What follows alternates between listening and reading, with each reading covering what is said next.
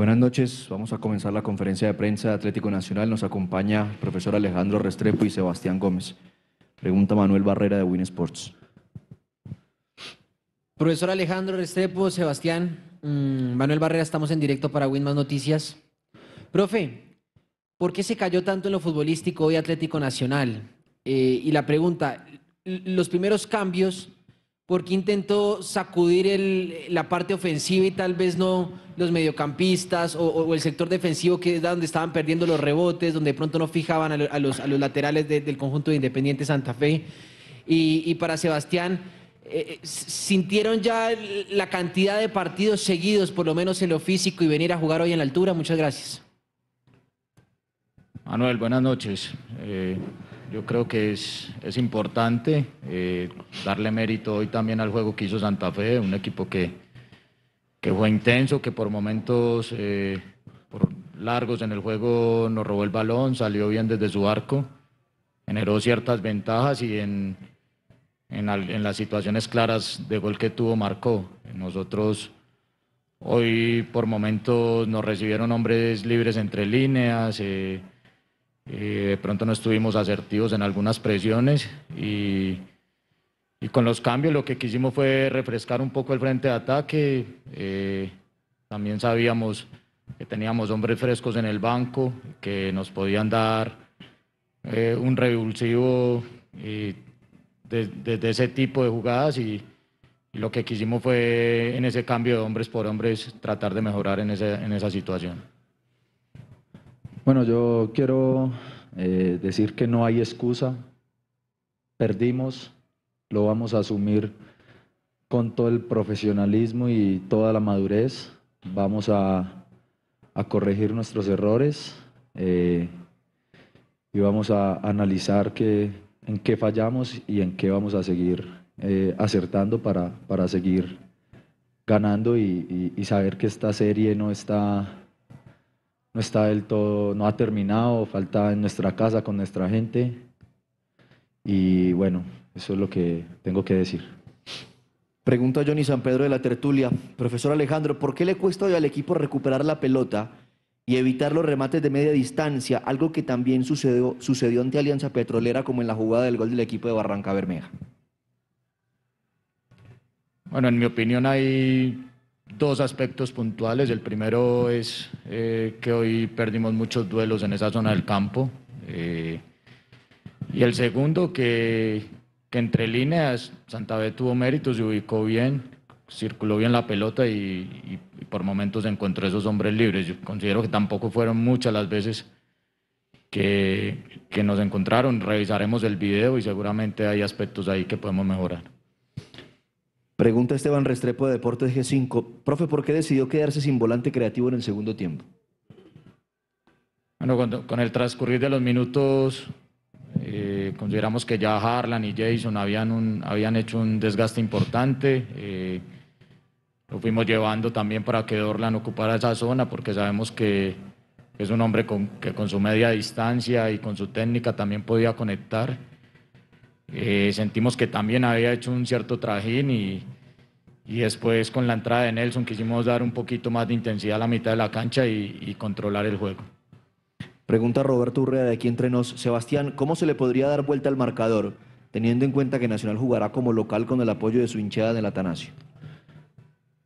No vamos a perder nuestra identidad, eh, que es salir jugando, teniendo la posesión y sometiendo a los rivales. Y creo que en el Atanasio va a ser a otro precio, porque vamos a estar con nuestra gente y vamos a, a pasar la serie. Pregunta Haider Escobar de minuto 30. Profe, ¿cuál fue el objetivo de las sustituciones? ¿Se cumplió lo que usted esperaba?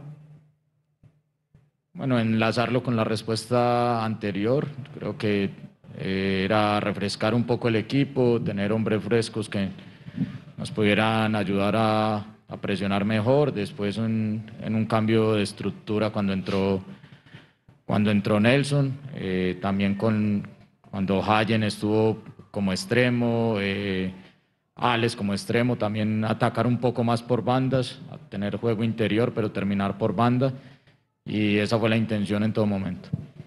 Pregunta Luisa Londoño de ESPN. ¿Qué aprendizaje le queda de este partido teniendo en cuenta que es la primera derrota desde que está a cargo del equipo? Este cuerpo técnico tiene y, este grupo de jugadores tiene una virtud y es que siempre nos, nos estamos autoevaluando, nos estamos autocriticando. Ganando también lo hacemos y, y hoy perdiendo es eh, mantener la humildad que tiene este equipo, eh, trabajar, estudiar dónde estuvieron los, error- los errores y para el, para el partido de vuelta hacer un plan de juego que nos lleve a ganar. Entonces, eh, autoevaluarnos, diría yo. Pregunta Juan Camilo Álvarez de Fútbol Red. Profe, ¿qué le faltó a Nacional para reponerse ante la adversidad de un resultado? ¿Vio el equipo cansado tras tres juegos? Yo, yo creo que este equipo está muy bien preparado, eh, ha hecho una muy buena preparación, tuvimos siete, ocho días por fuera, pero yo creo que la, la razón principal hoy hay que llevarla al juego y hoy enfrentamos a un, a un equipo que, que nos superó bien, que lo asumimos como dice Sebastián y, y nos vamos a, a estudiar lo que no hicimos bien para corregirlo para el próximo juego. Pregunta Juan Camilo Villa de Buenos Días Deporte. Profesor, ¿sacrificó un poco de solidez por ver cómo reaccionaban algunos jugadores a ciertos escenarios y circunstancias, en especial los jóvenes? No, hoy Nacional tiene unos jóvenes ya con muchos partidos, yo creo que lo vimos y hoy, hoy entraron con, con personalidad, con carácter, eh, le dieron, le dieron su, su aporte al equipo en un momento difícil, eh, buscamos diferentes matices en el juego, jugar con un mediapunta y un punta y jugadores de banda, después hacer un tribote en la mitad y jugadores de banda, tratar de tener un poquito más de control en el juego cuando nos estaba costando salir desde nuestro, desde nuestro arco y progresar al, al tercio medio, al tercio ofensivo. Entonces, eh, considero que a pesar de que son jóvenes, entraron con madurez y, y, y en un escenario muy difícil. Última pregunta de Elkin Labo de Rafa Gol. Profesor Restrepo, ¿en qué superó, aparte del marcador en el trámite Santa Fe Nacional? ¿Vio un verde relajado? No, yo creo que relajados, no, y para nosotros fue difícil saltar esa primera línea de presión que Santa Fe proponía con, con su punta y sus dos extremos y, y el trabajo también que hizo Kelvin en, esa, en tapar esas líneas de pase, de pronto no, no fue fácil para nosotros progresar al tercio medio.